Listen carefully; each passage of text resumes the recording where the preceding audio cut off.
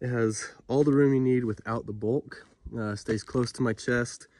One thing I love about it is it's simple, quiet. There's no magnetic snap to it. So if you're in a pinch or a tight quarter with an elk archery hunting, you don't have that snap. It just snugs right in and it stays snug to your body the whole time. To the side, it has a rangefinder holder um, along with the cable. So if you drop it or miss your pocket, you'll you'll have it with you at least. Secondly, on this side, the accessory pouch.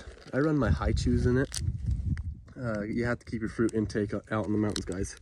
So make sure to get some of those.